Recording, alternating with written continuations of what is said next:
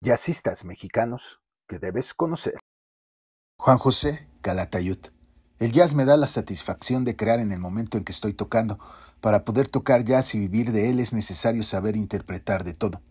Juan José Calatayud fue un pilar en la educación y difusión del jazz en México, pues supo abrir el gusto del jazz a todos los públicos. En sus presentaciones siempre se detenía a explicar lo que interpretaba.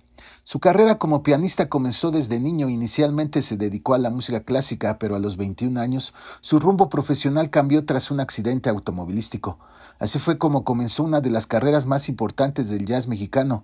Irrumpe en los años 60 refrescando el panorama del jazz en México con el trío 3.1416.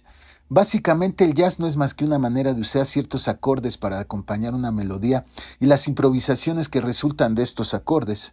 Entonces se puede hacer jazz con cualquier tipo de música, pero un jazzista no puede ser un improvisado.